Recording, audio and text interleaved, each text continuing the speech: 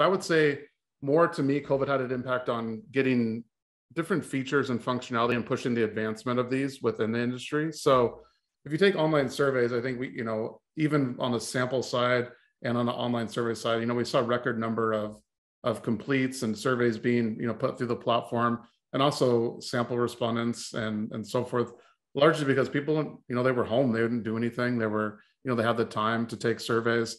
But I think from a technology perspective, it had a profound impact on just pushing out additional features and really adapting to the times because all of a sudden nobody could do in-person research. And you had to come we had to come up with something that allowed folks to do this. And with one of our products is a communities platform and you know, we talk about aha moments was hey we've been wanting to do this video discussion thing for a long time.